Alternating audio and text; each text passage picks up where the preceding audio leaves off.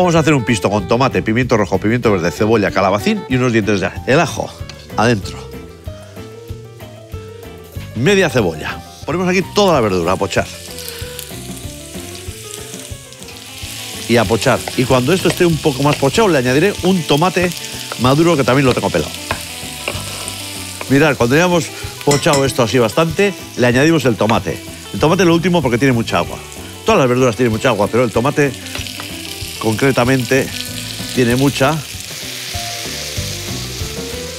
Quien mal empieza, mal acaba, pero el que empieza bien, acaba mejor. Mirad qué pisto, ¿eh? Lo voy a poner aquí a escurrir. Así, mirad.